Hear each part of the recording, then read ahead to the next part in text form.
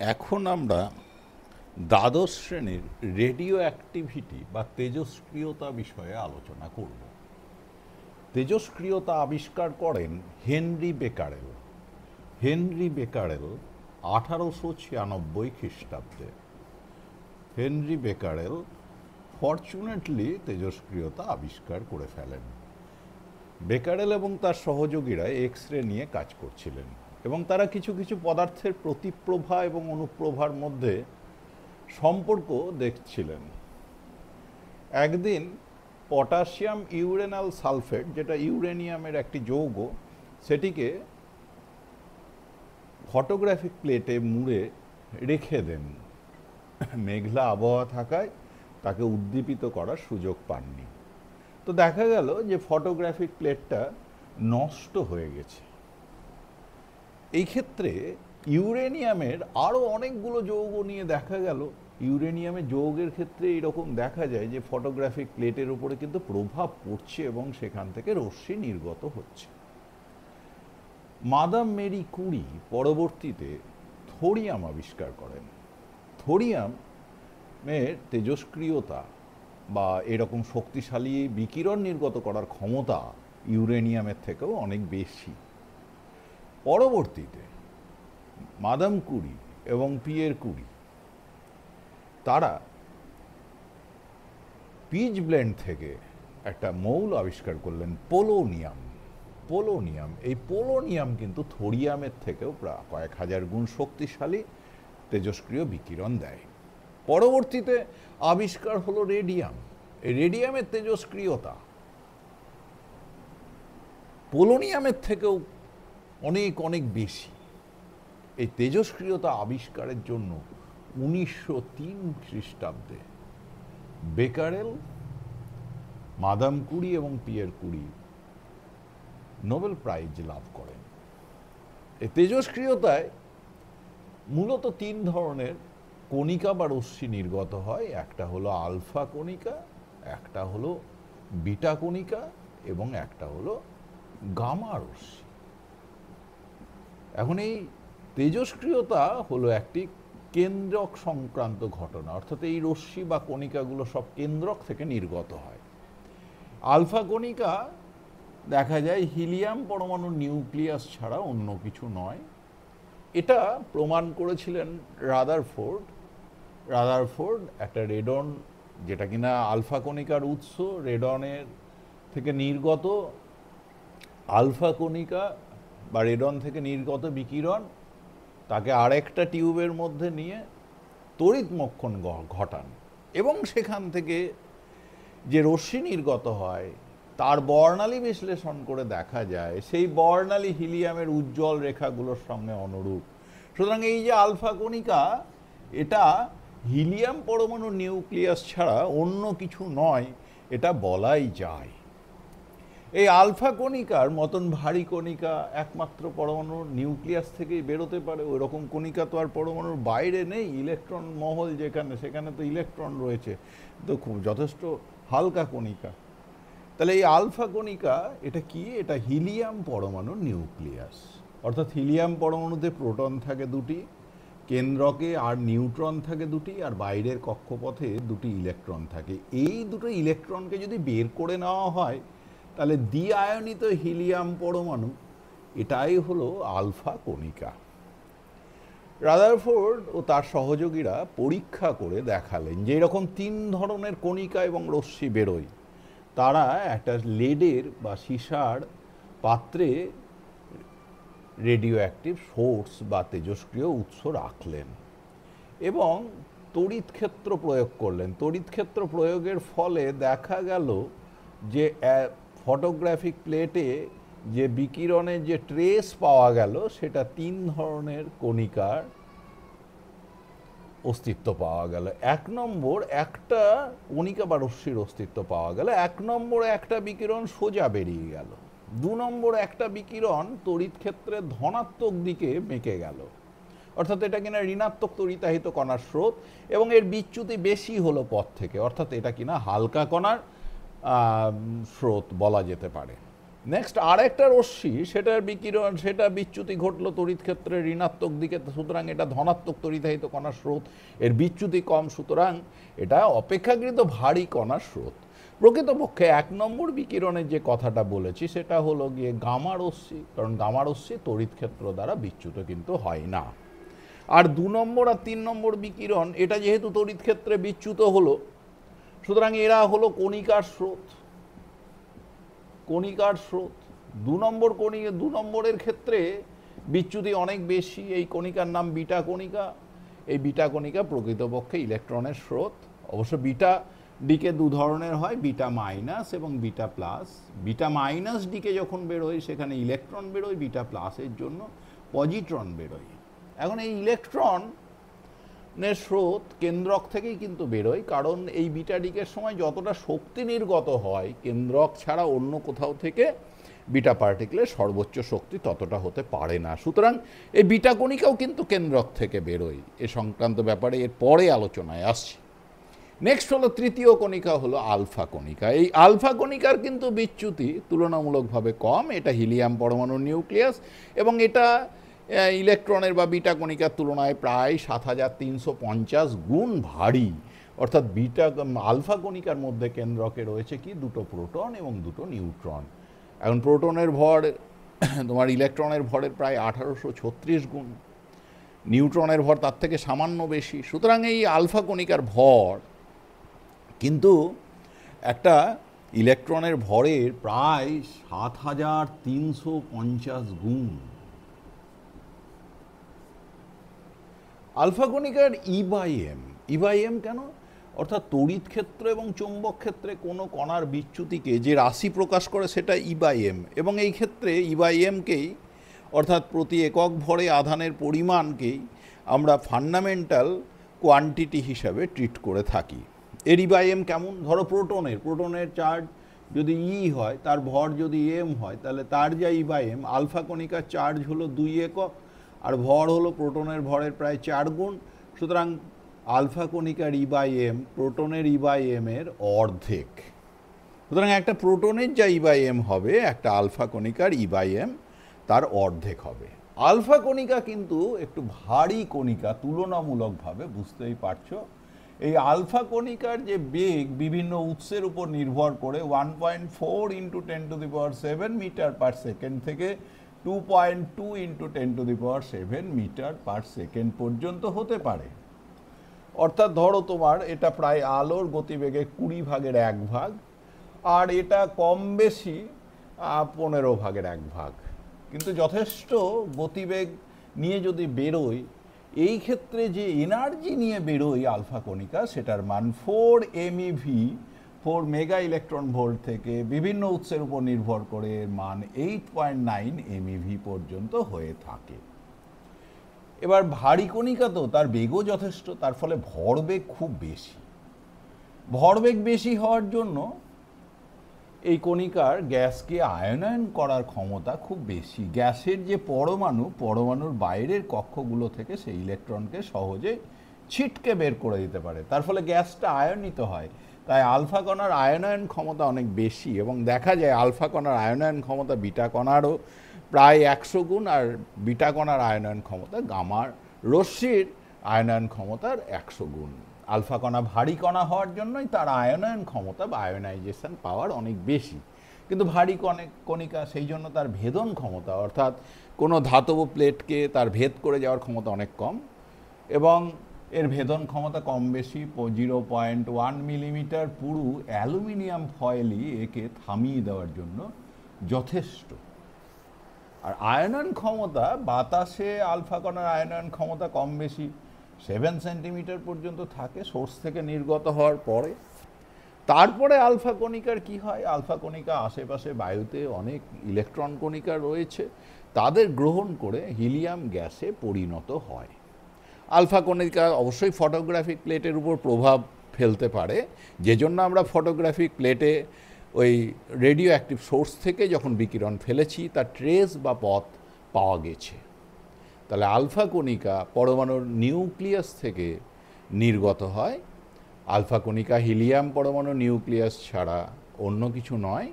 এটা কণার স্রোত, এর তড়িৎ ক্ষেত্রে বিচ্যুতি হয়, চৌম্বক ক্ষেত্রেও বিচ্যুতি হয় এবং চৌম্বক ক্ষেত্র যদি আমরা উৎস থেকে নির্গত এইরকম বিকিরণের ওপরে, তলের ওপরে লম্বভাবে চৌম্বক ক্ষেত্র প্রয়োগ করি, তাহলে দেখা যায় চৌম্বক ক্ষেত্রেও এদের বিচ্যুতি ঘটে।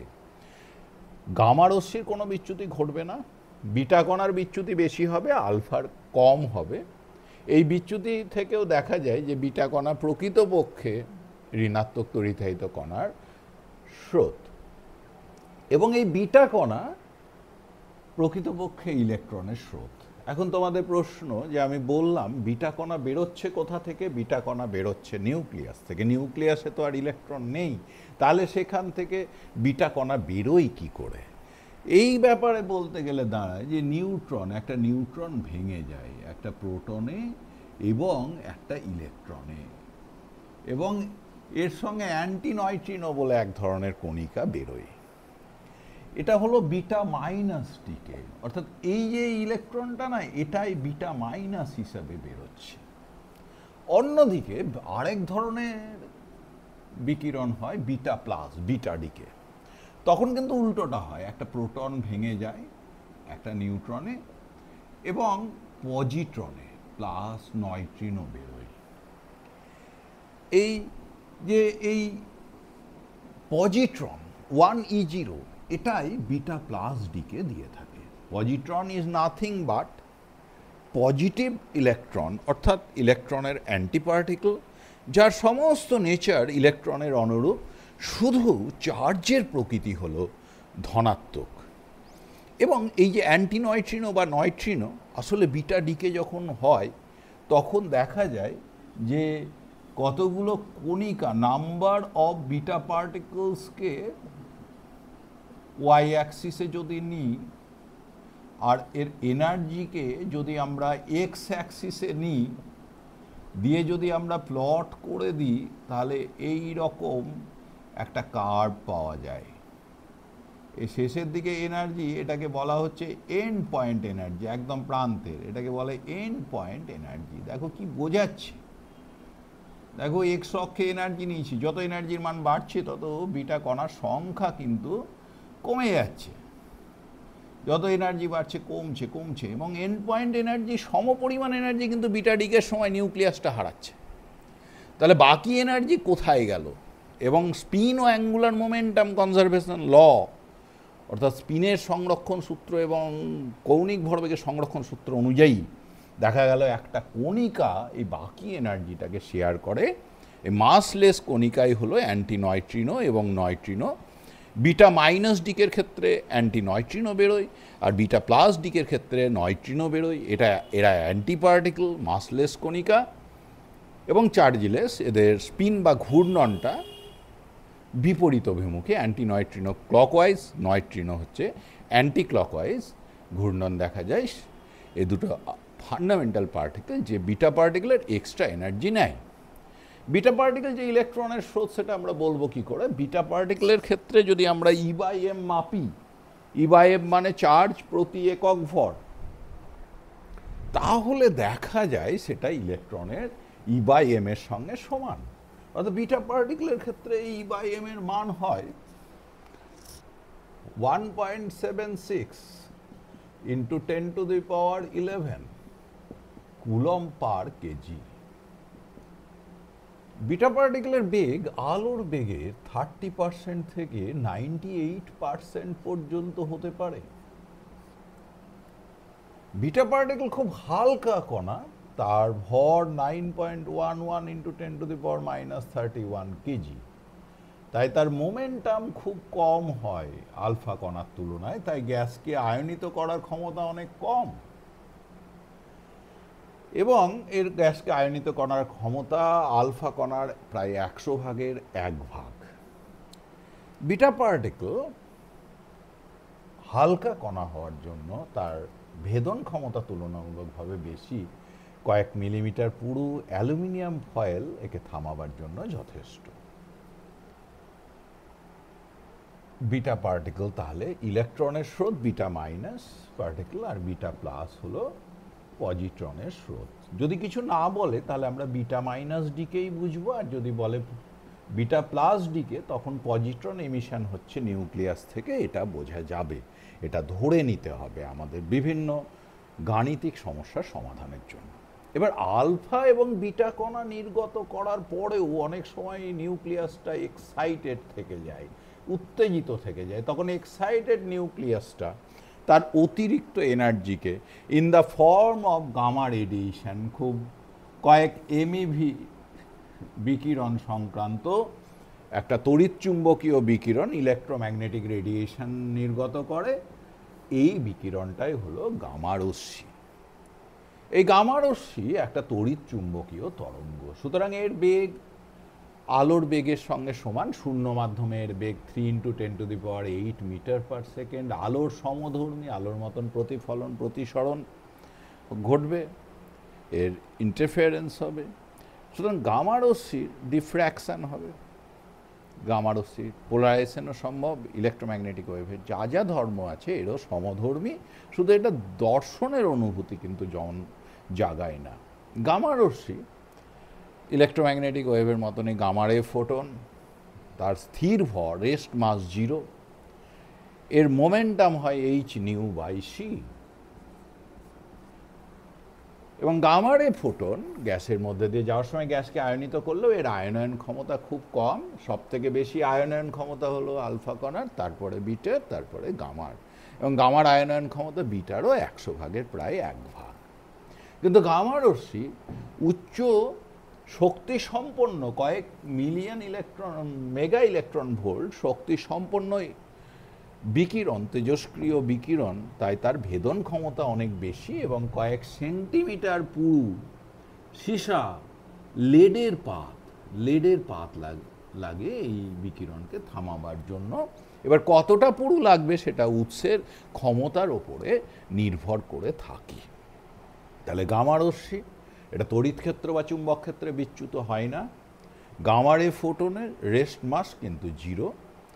গামা রশ্মি আলোর সমধর্মী, এটা তড়িৎচুম্বকীয় বিকিরণ, নিউক্লিয়াস থেকে নির্গত হয় কারণ এখানে করসপন্ডিং এনার্জি কয়েক এমইভি।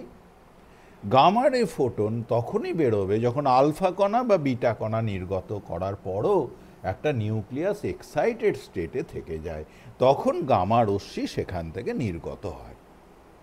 এটা একটা তড়িৎচুম্বকীয় বিকিরণ।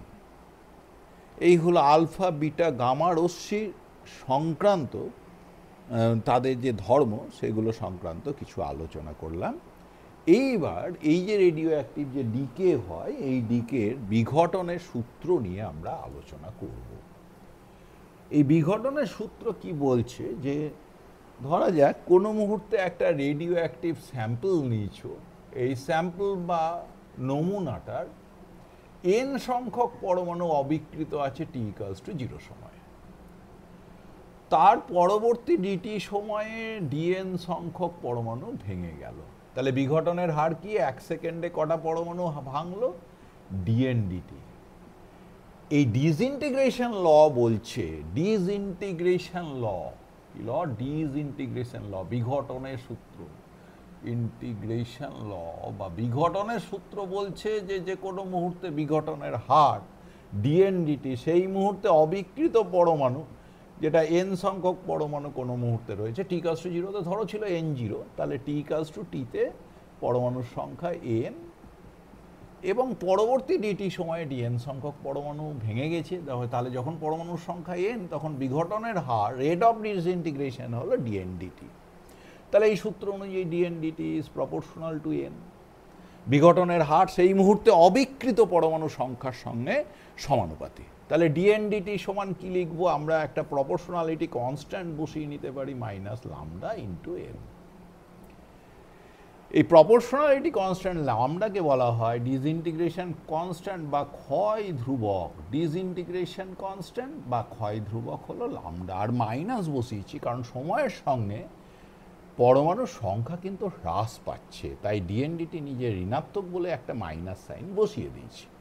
এবার দেখো ডিএন বাই এন সমান কত লিখব? মাইনাস লামডা ইন্টু ডিটি তাহলে এবার যদি আমরা ইন্টিগ্রেশন করে দিই, কী হবে? Log n l n n সমান minus lambda t plus c lambda তো কনস্ট্যান্ট তাই মাইনাস লামডাটা বেরিয়ে এলো। ডিটির ইন্টিগ্রেশন করলে t plus integration constant c এবার দেখো যখন টি ইকালস টু জিরো পরমাণুর সংখ্যা ছিল এন জিরো তাহলে when t equals to zero n equals to n zero তাহলে আমরা যদি এটা বসিয়ে দিই l n n zero t এর জায়গায় জিরো বসালে এটা জিরো হয়ে গেল সমান সি তাহলে সি সমান এল এন এন জিরো তাহলে কি দাঁড়াল এই এক নম্বর সমীকরণটাকে এখন যদি লিখি সি সহ এল এন এন সমান minus lambda t plus l n n zero তাহলে এন জিরো এদিকে আসুক l n n minus l n n zero সমান মাইনাস লামডা টি তাহলে l n l n n by n zero সমান minus lambda t e to the power নিলে পরে N by N zero সমান সমান e to the power minus lambda t তাহলে N সমান n zero e to the power minus lambda t অর্থাৎ দেখা যাচ্ছে পরমাণু সংখ্যা এক্সপোনেনশিয়াল নিয়মে কিন্তু হ্রাস পায়। অর্থাৎ এক্সপোনেনশিয়ালি ধীরে ধীরে তোমরা জানো টি এর মান বাড়লে e to the power minus lambda টির মান হ্রাস পাবে, তাহলে এন এর মানও হ্রাস পেতে থাকবে। তাহলে এক্সপোনেনশিয়াল ডিকে হচ্ছে।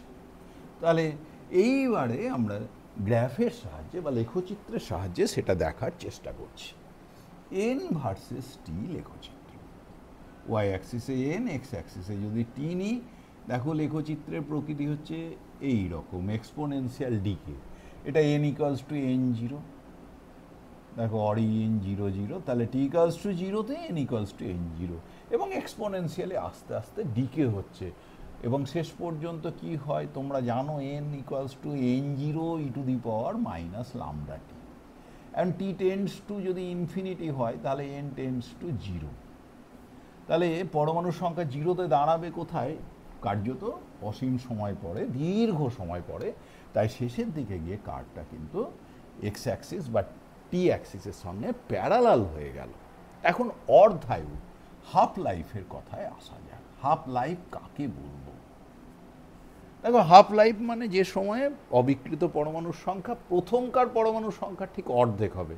তুমি জানো টি ইকালস টু জিরো সময়ে পরমাণু সংখ্যা এন সমান এন জিরো ছিল। তাহলে কোন সময়ে T equals to T half যখন হবে, তখন এন ইকালস টু হবে প্রাথমিকের অর্ধেক এন জিরো বাই টু তাহলে আমরা এই মানটা বসিয়ে দিতে পারি এই ইকুয়েশনটাতে তাহলে কি দাঁড়াল? N equals to n zero by two সমান n zero e to the power minus lambda into t half দেখো এইখানে এন জিরো এন জিরো কেটে গেল, তাহলে হাফ সমান one by e to the power lambda into t half অতএব e to the power lambda into t half সমান two তাহলে L N নিলে পরে হয় লামডা ইন্টু টি হাফ সমান এল এন টু অতএব টি হাফ সমান l n two by lambda n মানে log to the base e l n মানে লগ ই তাহলে log two to the base e এটাকে যদি আমরা টেনে নিয়ে যাই log two to the base ten into log ten to the base e এবং এই মানটা যদি আমরা আরেকটু সিম্পলিফাই করি log two to the base ten by log e to the base ten এই one by e to the base ten এই ভ্যালুটা আমাদের চলে আসে two point three nought two six অর্থাৎ আমরা যখন এল এন টু থেকে এল এন টেনে যাব, আমাদের তখন কিন্তু এখানে ভ্যালুটা হয় two point three nought two six R log to the base টেনের হলো point three zero one zero by lambda গুণ করলে হয় zero point six nine three by lambda zero point six nine three by lambda এই মানটা আমাদের চলে আসছে। তাহলে টি হাফ সমান zero point six nine three by lambda এবার দেখো একটা মজা, যে টি হাফ সময় পরে দেখা গেল পরমাণুর সংখ্যা হলো এন জিরো বাই টু একটা অর্ধায়ু, যদি দুটো অর্ধায়ু হয় টু টি হাফ পরে, এরও অর্ধেক তার মানে এন জিরো বাই টু এর হাফ তাহলে যদি আমরা থ্রি টি হাফ সময় পড়ে নিই, তাহলে পরমাণুর সংখ্যা কেমন হয়ে যাবে? এরও half n zero by two into half তারও হাফ তাহলে দেখো, এটা এন জিরো বাই এইট মানে n zero by two to the power three এটা ছিল এন জিরো বাই ফোর তার মানে n zero by two to the power two তার মানে টু টি হাফ সময় পরে n zero by two to the power two three t half সময় পরে অবিকৃত পরমাণুর সংখ্যা n zero by two to the power three তাহলে ধরো এনটা যদি অর্ধায়ু হয় এন টি হাফ সময় পরে যে পরমাণুর সংখ্যা হবে, সেটা হবে n zero by two to the power n তাহলে অবিকৃত পরমাণুর সংখ্যা এটা। যেমন ধরো, তোমাকে বলল, একটা তেজস্ক্রিয় নমুনার অর্ধায়ু দুই দিন। বলল, আট দিন সময় পরে আট দিন সময় পরে প্রাথমিক অবিকৃত পরমাণুর কত অংশ ভেঙে যাবে? তা দেখো, তুমি দেখলে আট দিন মানে two to the power three তার মানে কটা? দুটো, দুই দুই, চার সরি চার ইন্টু দুই মানে আট দিন, চারটে অর্ধায়ু। তাহলে অবিকৃত পরমাণুর সংখ্যা কত হবে? N zero by two to the power n মানে ফোর তার মানে এন জিরো বাই সিক্সটিন এতগুলো অবিকৃত পরমাণু, তাহলে ভাঙবে কতগুলো? এন জিরো তো ছিল, ভেঙে গেল এন জিরো বাই ষোলো, তাহলে থেকে গেল fifteen n zero by sixteen সংখ্যক এতগুলো পরমাণু ভেঙে গেল। আর অবিকৃত এখন থাকল এন জিরো বাই ষোলো, আগে ছিল এন জিরো আবার বলি ব্যাপারটা যে কদিন নিয়েছো তুমি? আটটা দিন নিয়েছো। আটটা দিন মানে কটা অর্ধায়ু দেখো আমরা two half two into t half three into t half এইভাবে নিচ্ছিলাম। তার মানে অর্ধায়ুর গুণিতক আকারে প্রকাশ করছিলাম ফোর ইন্টু টি হাফ চারটে অর্ধায়ু চারটে অর্ধায়ু সময় পরে অবিকৃত পরমাণু কতগুলো থাকে?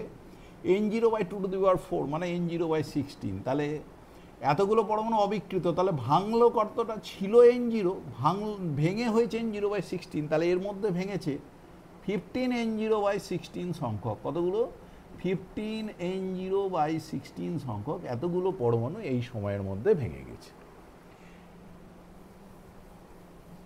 অর্ধায়ু বলতে, তাহলে কি বোঝায়? অর্ধায়ু বলতে বোঝায় সেই পরিমাণ সময়, যে সময় পরে একটা তেজস্ক্রিয় নমুনার অবিকৃত পরমাণুর সংখ্যা, প্রথমে যতগুলো অবিকৃত পরমাণুর সংখ্যা ছিল, তার ঠিক অর্ধেক হয়ে যাবে।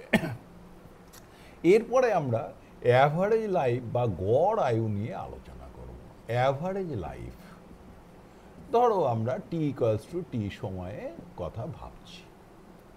সেই মুহূর্তে তার পরবর্তী ডিটি সময়ে ধরা যাক ডিএন সংখ্যক পরমাণু ভেঙে গেল।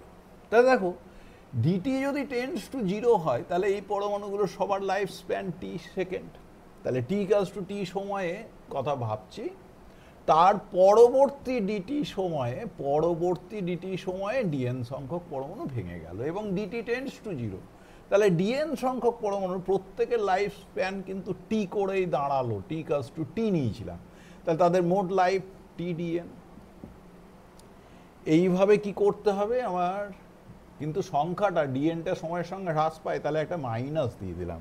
তাহলে এদের মোট আয়ুষ্কাল কিন্তু মাপা হয়ে গেল। যখনই আমি ইন্টিগ্রেশন করলাম এনের মান কত? এন জিরো থেকে জিরো গড় মানে কি? যজন ছিল তাদের সংখ্যা দিয়ে তাহলে তাকে ভাগ করা উচিত ডিভাইডেড বাই এন জিরো এখন তুমি ডিকে ল দেখলে এন সমান n zero e to the power minus lambda t তাহলে ডিএন সমান কত? N zero into minus lambda e to the power minus lambda t কখন এন জিরো হয়?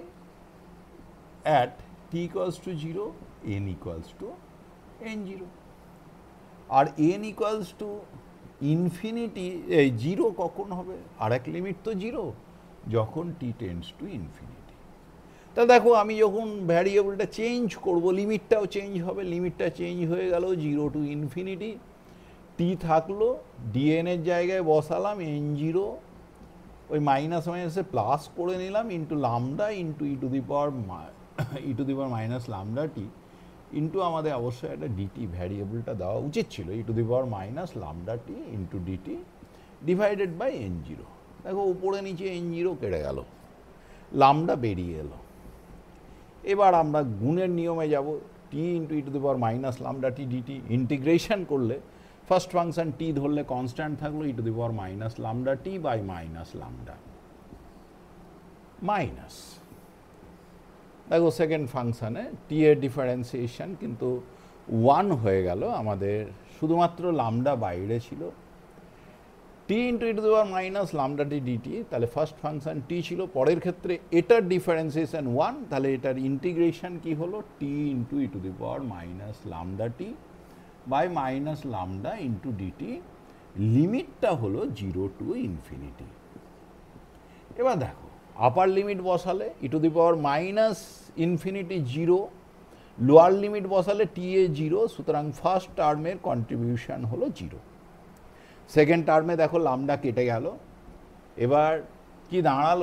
তোমার টি এর ইন্টিগ্রেশন কিন্তু টি যখন নিয়েছিলাম ফার্স্ট ফাংশন হিসেবে, আমাদের টি এর ডিফারেন্সিয়েশন ওয়ান হয়েছিল। আর এইখানে আর কি কি থাকার কথা ছিল? এন জিরো কেটে গিয়েছিল লামডা বেরিয়ে এসছে আর নিচে একটা লামডা আছে। দেখো ফার্স্ট টার্ম জিরো হয়েছে লামডা লামডা কেটে গেল। তাহলে e to the power zero to infinity e to the power minus lambda t into dt দেখো, এখানে কি হবে? E to the power minus lambda t by minus lambda কত? Zero to infinity e to the power infinity minus infinity তো zero first term তাহলে থাকল না আপার লিমিটটা lower limit কি হলো? দেখো মাইনাস মাইনাসে plus R e to the power zero মানে ওয়ান তাহলে ওয়ান বাই লামডা তাহলে দেখো টি এ অ্যাভারেজ লাইফ সমান ওয়ান বাই লামডা আমি আবার বলি, কোনো মুহূর্তে টি কাস টু টিতে ধরা যাক আমার এন সংখ্যক পরমাণু আছে। ফার্দার ডিটি সময়ে ডিএন সংখ্যক পরমাণু ভেঙে গেল। তাহলে এই ডিএন সংখ্যক পরমাণুর আয়ুষ্কাল টি তাহলে তাদের মোট আয়ুষ্কাল টি ডিএন সময়ের সঙ্গে এন হ্রাস পাচ্ছে, তাই আমরা একটা মাইনাস নিয়ে নিলাম। আয়ুষ্কালে দেখো এখানে ভ্যারিয়েবল এন তার ভ্যারি করছে কোথায়? এন জিরো থেকে জিরো টিএ কি করে করব? এদের এই যে ইন্টিগ্রেশন নিলাম মানে টোটাল আয়ুষ্কাল সবার পেয়ে গেলাম। আয়ুষ্কাল এই কয়েকটা পরমাণু নিয়ে ইন্টিগ্রেশন করলাম মানে সব পরমাণুগুলোর মোট আয়ুষ্কাল পেলাম। এবার গড় আয়ুষ্কাল বের করতে গেলে তাকে তো এন জিরো দিয়ে ভাগ করে দিলাম। এবার দেখো আমরা ভ্যারিয়েবল চেঞ্জ করছি। ডিকে নিয়ম থেকে n equals to n zero into the power minus lambda t তাহলে differentiating we get ডিএনস one n zero into minus lambda into the power minus lambda t dt limit change করতে হবে। যখন n equals to n zero t equals to zero সুতরাং lower limit আমার zero চলে এলো। আর n equals to zero হলে t tends two infinity এবার দেখো, বসিয়ে দিলাম ভ্যালুটা, এখানে টি থাকল ডিএন এর মানটা বসিয়েছি মাইনাস মাইনাসে প্লাস হয়ে বাকিটা চলে এসছে। এবার দেখো এন জিরো এন জিরো কেটে গেল লামডা বেরিয়ে এলো। First function t second function e to the power minus lambda t তার integration e to the power minus lambda t by minus lambda R second ফাংশনে টি এর differentiation one আর এটার অনুরূপ e to the power minus lambda t by lambda থেকে গেল। এবার এখান থেকে ফার্স্ট টার্মের contribution upper limit e to the power minus infinity zero lower লিমিটে জিরো বসালে টি এর মান জিরো বলে আর বাকি যাই থাক, গুণ করলে জিরো আসছে। ফার্স্ট ইন্টিগ্রেশনের ভ্যালু দেয় আমরা জিরো পেলাম। সেকেন্ড ইন্টিগ্রেশনের ভ্যালুতে দেখলাম লামডা লামডা কেটে গেল। E to the power minus lambda t dt zero to infinity এটাই আমাদের আলটিমেট রেজাল্টটা দাঁড়াল। এইবার ইটু দেওয়ার মাইনাস লামডা টির ইন্টিগ্রেশন করেছি। Upper limit e to the power minus infinity মানে জিরো লোয়ার লিমিট বসালে ইটু দেওয়ার জিরো মানে ওয়ান আর লোয়ার লিমিটের মাইনাসে মাইনাসে প্লাস হচ্ছে, সুতরাং TS one one by lambda তা দেখো এখানে টি হাফ এবং টি এর মধ্যে আমরা কিন্তু একটা রিলেশন পেয়ে যাচ্ছি। টি হাফ টি হাফ সমান পেয়েছি আমরা zero point six nine three by lambda R t এ সমান ওয়ান বাই লামডা তাহলে টি হাফ সমান zero point six nine three into t a average life এবার একটা ছোট্ট আলোচনা করে নিই ধরো তোমাকে একটা রেডিও অ্যাক্টিভ স্যাম্পল দেওয়া হয়েছে। এই স্যাম্পলটার অর্ধায়ু দুই দিন। এবং তোমাকে চারটে পরমাণু নিয়ে কাজ করতে দিয়েছে। চারটে পরমাণু অবিকৃত আছে। তোমাকে যে পরমাণু দেওয়া হয়েছে, স্যাম্পল, অবিকৃত আছে। এইবার তোমাকে বলল, চার দিন পর কটি পরমাণু অবিকৃত থাকবে? চার দিন পর কয়টি পরমাণু অবিকৃত থাকবে? How many atoms will be non disintegrated after four days চার দিন পরে, দেখো তুমি সহজভাবে ভাববে যে চার দিন মানে দুদিন অর্ধায়ু, তাহলে চার দিন চার মানে দুই ইন্টু দুই, তাহলে দুটো অর্ধায়ু। তাহলে দুটো হাফ লাইফ হ্যাঁ অর্ধায়ু। তাহলে আমার পরমাণুর সংখ্যা হবে n zero by two to the power n two square n zero by four তাহলে একটা। তা কিন্তু নয়, অঙ্ক এটা বলল, এটা উত্তর হবে না। আসলে আমাদের এই রেডিও অ্যাক্টিভ যে ডিসইন্টিগ্রেশন এটা স্ট্যাটিস্টিক্যাল ফেনোমেনা এবং statistical phenomena large number of এক্সপেরিমেন্টের ওপর নির্ভর করে তার রেজাল্ট লার্জ নাম্বার অফ এক্সপেরিমেন্টের উপর। যেমন তুমি টস করছ, তুমি জানো হেড পড়ার প্রবাবিলিটি ফিফটি পার্সেন্ট টেল পড়ার প্রবাবিলিটি ফিফটি পার্সেন্ট কিন্তু তুমি যদি দশবার টস করো, দেখা গেল নবার হেড একবার টেল পড়ল। কিন্তু তুমি যদি সেখানে একশো বার টস করো, দেখা গেল এটা পড়ল পঁয়ষট্টি বার এটা পড়ল পঁয়ত্রিশ বার কিন্তু যখন তুমি হাজার বার করছ, দেখা গেল এটা পাঁচশো পঁয়তাল্লিশ, এটা চারশো পঞ্চান্ন। অর্থাৎ দেখতে পাচ্ছ, যত এক্সপেরিমেন্টের সংখ্যা বাড়াচ্ছ, তত দেখা যাচ্ছে হেড এবং টেল পড়ার প্রবণতা বাড়ছে। সুতরাং এই যে হেড পড়ার প্রবণ- প্রবণতা probability of getting head fifty percent এটা কিন্তু লার্জ নাম্বার অফ এক্সপেরিমেন্টের ওপর নির্ভর করে। সেরকম রেডিও অ্যাক্টিভিটিতেও এটাও একটা স্ট্যাটিস্টিক্যাল ফেনোমেনা এবং এখানেও রেজাল্ট ট্যালি করবে কি না এই যে অর্ধায়ুর যে সম্পর্ক, এই যে বি দিকের যে ফর্মুলা পেলাম, আমরা ultimately n equals to n zero to the power minus lambda t এটা কিন্তু স্ট্যাটিস্টিক্যাল ফেনোমেনা স্ট্যাটিস্টিক্যালি রেজাল্টটা পাচ্ছি। তাই আমাদের পরমাণুর সংখ্যা একটা আধটা না, আমরা কতগুলো পরমাণু নিয়ে কাজ করি? Normally of the order of Avogadro number ten to the power twenty three অর্ডারের পরমাণু নিয়ে কাজ করি। সেই জন্য রেজাল্টগুলো ওইভাবে ট্যালি করে যায়। দুটো বা চারটের উপরে এই রেজাল্ট ট্যালি করানো কিন্তু যাবে না। ঠিক প্রেডিক্ট করা যাবে না। তাহলে তোমার প্রশ্ন যে এখন কি হতে পারে? যে স্যার, উত্তরটা কি দাঁড়াবে? দেখো, এমনও হতে পারে, চারটে পরমাণুই ভেঙে গেল অবিকৃত শূন্য থেকে গেল। এনিথিং পসিবল তিনটে ভাঙলো, একটা অবিকৃত। দুটো ভাঙলো, দুটো অবিকৃত। একটা ভাঙলো, তিনটে অবিকৃত। একটাও ভাঙলো না, চারটে অবিকৃত। এনিথিং পসিবল যে কোনোটা হতে পারে।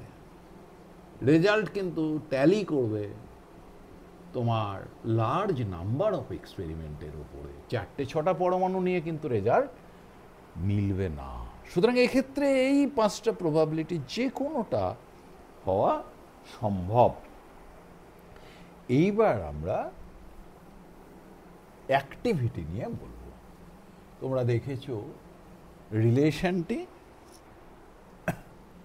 আমাদের ডিকে ল থেকে n equals to n zero e to the power minus lambda t এই অ্যাক্টিভিটি হলো মাইনাস ডিএনডিটি দেখো মাইনাস ডিএনডিটি করলে কি হয়?